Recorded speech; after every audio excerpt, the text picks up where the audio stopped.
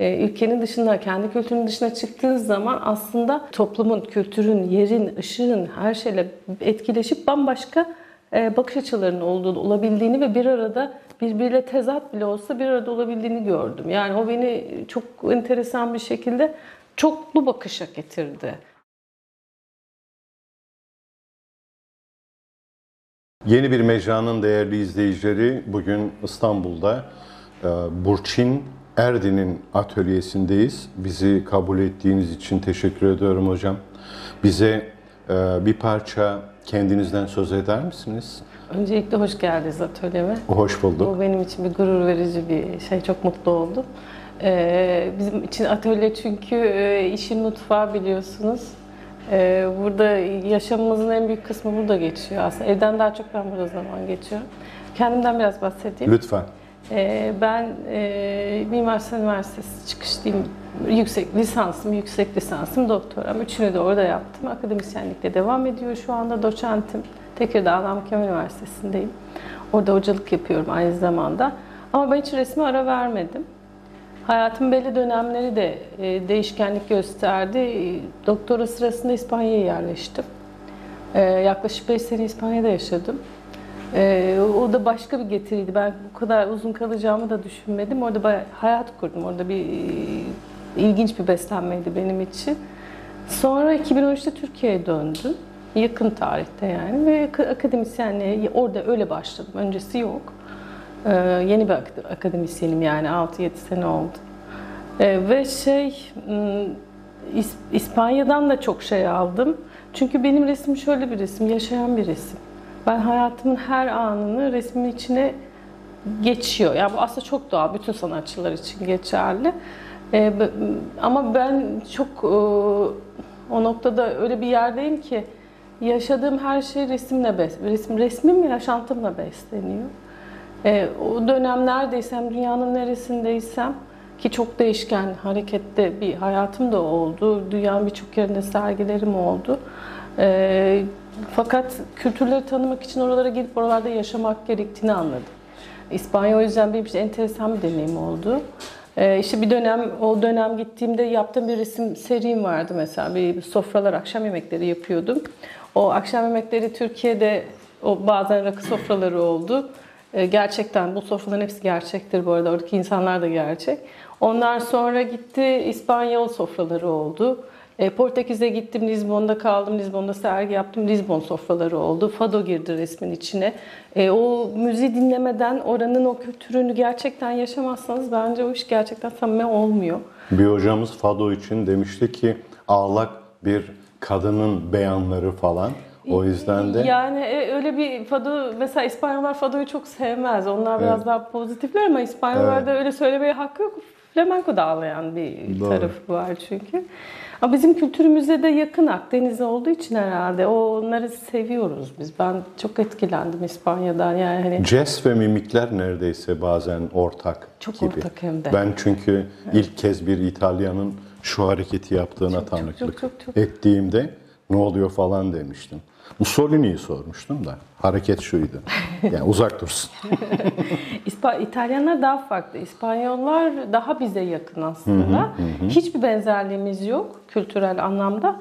Fakat Akdeniz insanın ortak bir şey var. Yani sokakta anlaşabileceğiz tek insan tipi bence İspanyollar bizim. Yani tek e, nasıl söyleyeyim konuşmadan, dili olmadan anlaşabileceğiz bir insan tipi İspanyollar.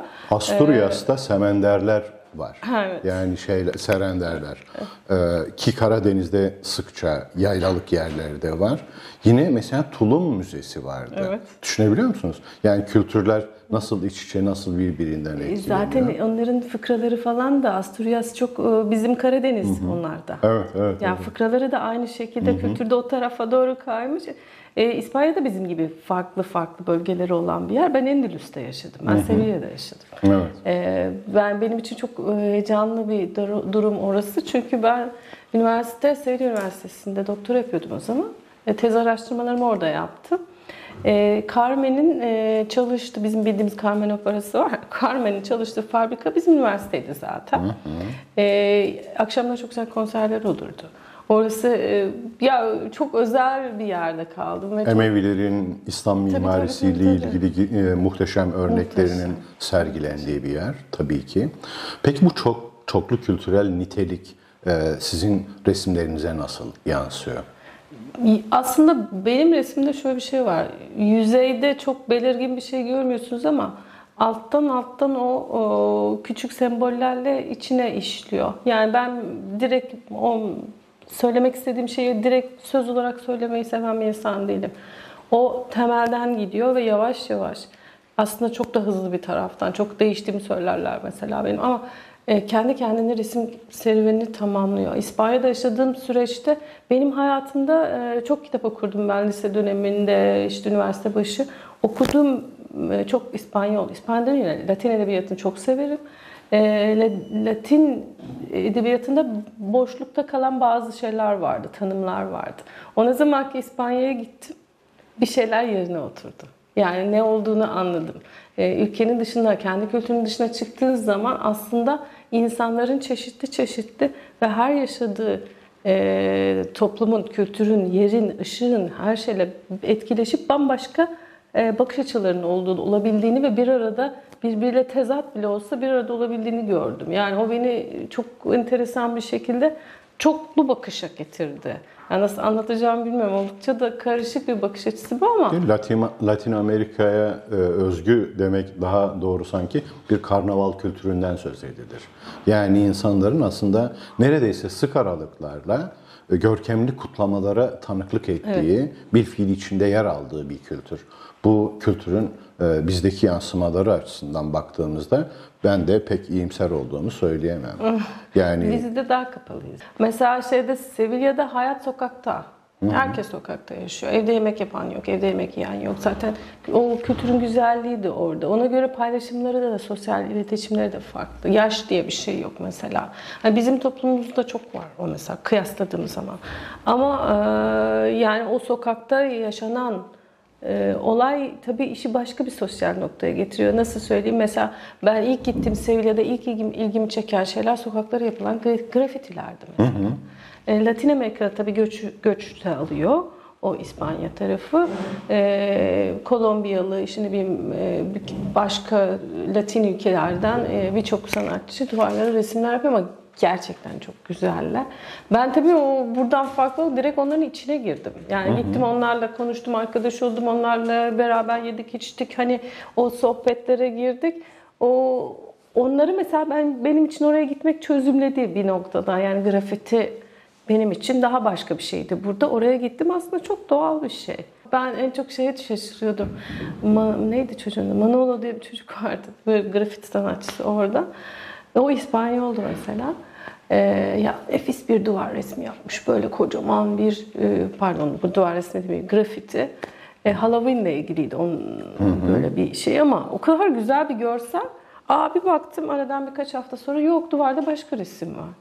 Dedim nasıl kıydınız buna? ya Yani e ama o zaten bize bizim şeyimiz bu. Mesela bana çok tuhaf gelmişti. Bizler kendi işlerimizi koruyoruz yani biricik e, Doğru. Ha, anlam farkı orada onu gördüm ve ya nasıl ya yani çok güzeldi ama işte fotoğrafla belgelemişim Allah'tan. E, bu ilginç bir deneyimdi o benim için ama mesela kendi resmime taşıdığımda e, ben mesela bir yere gittiğim zaman ilk yaptığım şey oranın yemeğini yemek. Ama gelenek yemeğini, geleneksel yemeğini. Bir de müziğini dinlemek. Yani ben İspanya'ya gel gittim. İlk hemen birinci ayda flamenco ders almaya başladım. O amaç dansçı olmak falan değil. Ama onu gerçek bir flamenco hocasından aldığınız zaman dersi e, anlıyorsunuz bazı şeyleri. Yani o edebi metinlerin işte şarkı sözleri mesela flamenco çok ağırdır metinleri. Bazı hatta pop şarkılarının bile e, oradan öğrendiklerimle birleştirmeye başladım. Alt metin görmeye başladım açıkçası. Yani bazı sembollerin işte Çingene kültüründe işte e, o İspanyol kültüründe onlarla bağlantılarını yakalama şansım oldu. O beni müthiş aştı. Yani yurt dışında olmak, diyorum İspanya'yı ben gerçekten çok sevdim. E, ve benim resmime işte gidiyorum ben bir akşam yemeğin işte ilk Lizbon'a gittim işte sergim vardı. E, hemen e, ot kaldığımız otele şey dedik. Bize hani şey buranın mahalle restoranı neresi? Oraya gittik ama biz Fado da dinlemek istiyoruz. Fado'nun da ne olduğunu hani ancak biz dinliyoruz. Şeyden, internetten vesaire işte. Gittik. Fado onların bizim kültürümüzdeki sazın yansıması aslında. Onlar da çok normal, çok aile. Ya anlamadık, bekledik. Fado gelecek, Fado çalacak. Biri iki tane adam çıktı, gitar çalıyor. Böyle gözlükleri, 70'lerin gözlükleri, renkli kahverengi bir camları var. Adamlar e, ya, ya söz yok, aha söz baktık burası bir aile restoranıymış Mersi. Aşçı e, anne çıktı sahneye kafasında şapkası başladı söylemeye. Garson oğlu e, o da aradan söylemeye başladı. Fado'yu ben anladım, orada anladım mesela. Hı hı. Ben o bütün gece çizdim tabii. Onlar benim resimlerime bir, bir şekilde girdi. Ben orada bir de sofra resimleri yapıyorum, masa resimleri yapıyorum. Hepsi girdi resimlerime Fado'yla. Fado öyle girdi. Hı hı. Yani hı hı. hani o, İspanya'da bambaşka oldu. Gittiğiniz, gördüğünüz yerler her şekilde zaten etkiliyor. Ee, gözünüzü kapamanız mümkün değil zaten çok zengin bir kültür. Ben öyle bir sürecim oldu benim işte İspanya'da. Birleşmiş Milletler'in şöyle bir mottosu var. Diyor ki küresel düşün, yerel yap. Bu bağlamda sizin resimlerinizi nereye oturtalım? Ee, önemli bir konu bu ama. Evet. Yani hani hakikaten üzerine e, düşünmemiz gereken ki bence Türk sanatının e, çözmesi gereken bir soru, büyük bir sorudan bahsediyoruz aslında. Hı hı. E, yani burada halen dönem olarak Türk sanatı e, Batı yönüne dönüşünden bugüne gelişin arasında çok büyük bir zaman yok aslında. 100-150 senelik bir zamandan bahsediyorsunuz. İlk başlarda bir çaba gösterilmiş, işte kendi özgün sanatını koruyarak, işte kendi kültürünü koruyarak, batıya göre resim yapmak falan filan böyle bir sürü bir kaygılar var yurt sergileri gibi böyle bildiğiniz hani. E, fakat e, şu anda bence çok yeni bir dönem. Ee, ve bu dönem içinde hepimizin sancıları var. Yani ben Batı sanatının içinde evet kendime yer buluyorum. Türk sanatının için zaten Türk sanatı daha tam olarak ben oturduğunu düşünmüyorum. Şimdi bizim kültürümüzün e, konuşmak gerekirse minyatür döneminden sonra kesiliyor. Bir anda tak batı etkisinde bir resim yapılıyor. E, e, minyatür yok mu bizim kültürümüzde? Var ama benim etrafımda minyatür yapan yok hiç mesela. Paşa Bahçe son ustalarını yitiriyor Gittim düşünsenize. Mi? Yani Kapadılar şimdi, orayı. E, giderek aslında bazı geleneksel el sanatlarını falan e, ustalar e, aktaracak yeni kuşaklar bulmakta güçlük çektiği için son kişiler çekip gidiyorlar. O açıdan e, bu aslında trajik bir şey. Yani bize ait olan. Örneğin şey, tasavvuf bir şekilde bizim resmimize yansımalıydı. Çünkü Kesinlikle. bütün dünyada evrensel iddiaları olan Kesinlikle. bir yer. Mevlana bizim sadece semazenler ben dolayısıyla değil ama yani oralardan çıkıp örneğin evet. daha evrensel, daha böyle yani, yüksek sesli. Biz mitoloji böyle. deyince Yunan mitolojisini biliyoruz. Evet. Ama Türk mitolojisi de inanılmaz bir edebiyat tarafı olan güçlü siz daha hakimsiniz benden yanlış hakeza, bir şey söylemek istemem. Mezopotamya'nın, ee, yani. hakeza Kafkasların, İran mitolojisi bunların hepsinin bir toplamı aslında. Biz hani çok kültürlülüğün penceresinden baktığımızda işte o, aslında yapılacak müthiş bir çok kaynağın şey. içindesiniz evet. aslında. O evet. kaynağı görmeye başladığınızda ben e, daha zenginleşeceğini düşünüyorum. Yani ben de şimdi kendim okumalar yapıyorum, kendim takip ettiğim şeyler var. E, Türk mitolojileri okuyorum mesela ben çok e, meraklıyım. E, benim hani son yaptığım resimlerde şeye geldim ben, doğuma geldim. Hı hı. O da zaten e, tüm toplumlarda daha bir yukarıdan bakıp, uluslararası, internasyonel diyeyim bakıp ondan sonra yavaş yavaş kendi içine dönen bir yapım var zaten. Kendim de öyleyim. E, hayatımın süreçleriyle birleşti bunlar. Ben en son bir sergi yaptım. E, ismi Doğa Ana serginin. E, aslında uluslararası kabul görmüş bazı sembolleri ben yükledim resimlere. Mağaraları girdim mesela. Mağaralar yaptım, büyük ormanlar yaptım. E, bütün toplumlarda aynı bu. Yani mağara ana rahmi. Hı hı. Yani hemen hemen evet. yanlış bir şey söylemiyorsam hı hı. da e, bildiğimiz bütün toplumlarda sembolik bir biçimde e, mağara ana rahmi olarak görmüş. Zaten doğa anne olarak görülmüş. Nasıl söylüyorum? Hayatla besleniyoruz biz. Bizler savaşlar varsa gözümüzü kapatamayız. Doğru. İnsan yani bizler de değil. Doğru. Ee, ve onları resimlere taşımama olasılığınız yok. Yani ben 2013'te Türkiye'ye döndüğüm zaman e, çok fazla şey olayları oldu. Bombalar patladı. işte o, bir- belki de daha çok gördüğümüz için aslında daha çok olduğu için değil belki. E, onlar benim resimlerime girdi. Bu ölen insanlar, bombalar. Ben o ara böyle şeyler topluyorum. Olimpiyat fotoğrafları topluyordum. Bedensel ifadeleri benim beden dile çok resimlerime örtüşüyordu. E, sonra o resimleri yaptım ben. Atletleri koydum resimlerin içine. Orada çok enteresan bir rastlantı. Kesişme yakaladım. Ee, ölen insan ifadesiyle başaran insan ifadesi birbirine çok yakın. Beden dili. Öyle resimler yaptım. Ee, işte bombalarda patlayan atletler ama hepsi atlet. Üzerlerinde numaraları var falan. Ee, sonra hatta benim Amerika'da bir sergim oldu 2015'te. Ee, o sergide onları koydum. Fakat çok enteresan bir de hani insanız yani beni o resimler biraz acıtıyordu. Sonra bir an dedim ki bunlar niye köpek olmasın? Bir anda böyle e, hoşuma gitmeye başladı. Köpe yarışan köpekler koymaya başladım. Ben aslında çıkış noktası direkt e, o kontrast, o savaş. Bu sefer yarışan köpekte ne var? E, bir hedef için koşuyor.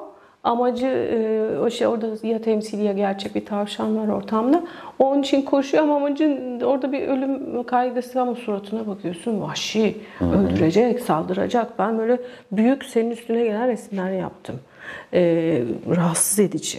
Onu onu vermek istedim. Modern zamanlarda insanın aslında doğayla verdiği büyük bir mücadele var. Ve bu mücadelenin sonunda da bir tür doğayı dize getirme çabası var. İşte Aynen, aynen. hidroelektrik santrallerinin kuruluş serüveni biraz böyle büyük çaplı e, anıtsal yapıların çoğu için aynı şey geçerli. Fakat bir süre sonra yani modernizm sonrası şu an içinde bulunduğumuz dönemde insanlar galiba bir şeyi unuttular. Yeryüzünün tek sahibi biz değiliz. Aynen öyle. Yani türcü yaklaşımdan uzak durmalı. Dünya sadece insanların değil, insanların yanı sıra hayvanların, bitkilerin, bizatihi korunması gereken ve bir parçası olduğumuz doğanın yapıp ettiklerimizle de aslında buna bir parça hizmet etmek gerekiyor. Söylediklerinizden ben aslında sanatçıların sa- olup bitenler karşısında sadece pasif bir izleyici olmaktan çok sanki bir parça hayatın içinde ve onun bir parçası gibi olduğunu düşündüm. Evet. Yani yüzler işte orada zaten o köpekler insanın orada müdahalesi var. Zaten niye köpek orada yarışsın ki? yani hani orada gerçekten insan aslında olaydan bağımsız değil. Yani oradaki yöneten o zaten. Ve aslında bir eleştiri var ortamda. O köpekler çok korkunçtu bazıları. Ürkütücü oldu. Resimler saldırıyormuş gibi falan. O duyguyu da ben kaldırmak istedim. insanlarda bir, bir rahatsızlık varsın. Ee, ama e, görsel olarak da keyifli benim için keyifliydi.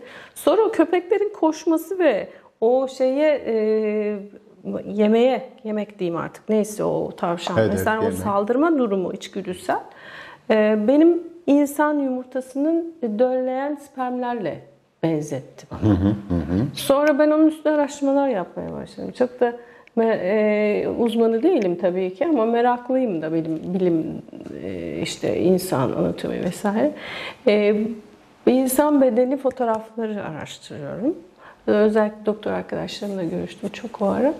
Ondan sonra şey böyle insan bedeninin içinin orman olduğunu gördüm. Yani yakından kadraj makro, makro fotoğraf çektiğiniz zaman içerisinin dışarıda hiçbir farkı yok. O zaman kontrastları ben bir araya getirdim. Ormanlar yapmaya başladım. Ormanların içine döllenen yumurtaları koydum. Sonra mağara girdi. Mağara anne anne e, mağaranın içine orada tabii bir sürü gönderme var. Yani hani e, mağara tö- işte mağara üzerine yazılmış bir sürü yazılar var. Onlara göndermeler var. Doğru. Ama ben daha görsel taraftan gidiyorum. Yani hani çok konuşmak belki de doğru bile değil yani. Yok, şundan dolayı doğru. Çünkü herkes sizin çalışmalarınızı izleme fırsatına sahip olamayabilir. Biz aslında yeni bir mecranın izleyicilerine bu olanağı sunmaya çalışıyoruz. Haberdar olsunlar. Burçin Erdi'den haberdar olsunlar, işlerinden haberdar olsunlar, hayata dair durduğu çoklu disiplinlerden beslenen tavrından haberdar olsunlar istiyoruz. Bir de tabii öncelikle biz duymak istiyoruz tabii ki. Bu söyleşinin Ben de yapılma çok gerekçesi şey de var. o. Nedir bu? Anne, Celal Bey, yani çok e, ben esprili bir tarafım da var. Seviyorum da onları. Anlatmayı da seviyorum. Evet. E, şimdi hayatın süreçleri var. O süreçleri ben şeyi anladım zaten. Hayatta hiçbir şey benim resim yapmama engel olamaz. Onu anladım. Ben çünkü Harika. seviyorum. Bu kadar. Harika. Gerisi yok. Bir öncelikle bizi kabul ettiğiniz için eee, çalış diğer çalışmalarınız konusunda buradan çıkarken bir fikrimiz olacak ondan dolayı tekrar teşekkür ediyorum. Sonrasında yeni bir mecranın izleyicileri için en son eee, kültürün, sanatın, akademinin, güzel sanatların ve benzeri alanların onların dünyasında aslında neye tekabül ettiğine dair kişisel kanaatinizi çok kısaca almak isterim. Şimdi şöyle bir şey var. Bizim e, hayatımız yani üreten, sanat üreten, üretmeye çalışan insanların hayatı çelişkilerle dolu zaten. Kendi kendiyle kavga eden, kendi kendiyle savaşan e, bir hayat yaşıyoruz. Ve bu hakikaten yıpratıcı zor bir şey. Bunun içinden çıkmak, e, onun içinde ayakta durmaya çalışmak, kendinle savaşıyorsun. Başka bir şey değil yani. Hani Evet. Kimseyle o resim sattım piyasa bilmem ne o hikayesinden bahsetmiyorum. Evet. Ee, Eğer öze indiğinde kendinle savaşıyorsan ağır bir şey gerçekten. Ve hayatının her yerine e, yavaş yavaş böyle sinsice yerleşen, e, bütün ilişkilerinde yansıyan e, bir durum. Bununla yüzleşmek çok zor. Yani sanat üretmek isteyen insanları hayatı hem keyifli hem zor. Eğlenceli tarafından bakmaya çalışıyorum ben. İş demeyi de sevmiyorum. Ee, üretmeye, sanatım da demeye yakışık bulmuyorum. Ee, bir bunu insanlara paylaşmaya devam edeceğim galiba. İnşallah severler. Çok çok teşekkür yani. Çok Ben teşekkür, teşekkür ederim. ederim. Rica ederim.